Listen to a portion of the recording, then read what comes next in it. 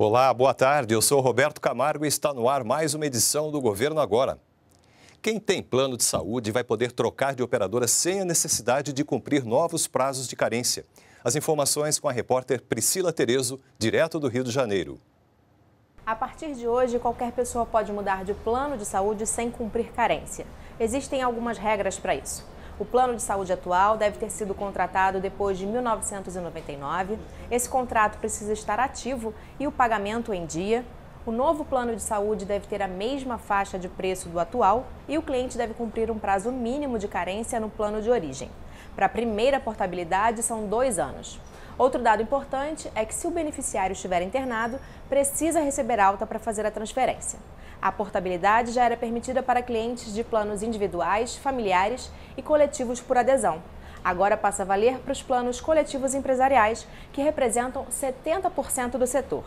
Essa mudança é uma decisão da ANS, a Agência Nacional de Saúde Suplementar, e amplia a concorrência no mercado. Com isso, o consumidor pode ser beneficiado com a redução de preços. Priscila Terezo para o Governo Agora.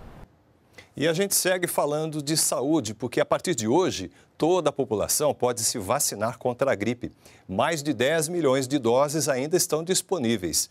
Segundo o balanço divulgado agora há pouco, 4 milhões de crianças e gestantes ainda não se vacinaram.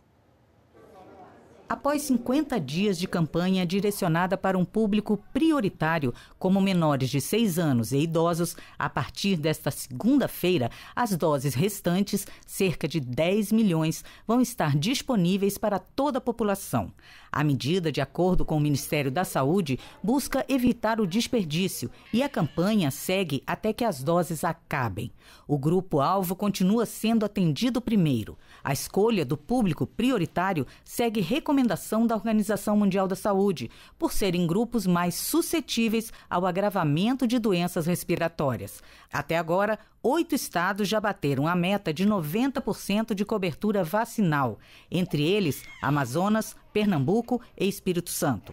O Rio de Janeiro e São Paulo seguem com a menor taxa de vacinação. A vacina continua sendo a forma mais eficaz de evitar a doença. O governo agora termina aqui e você pode nos acompanhar também pelas redes sociais. A gente se encontra na próxima edição. Até lá!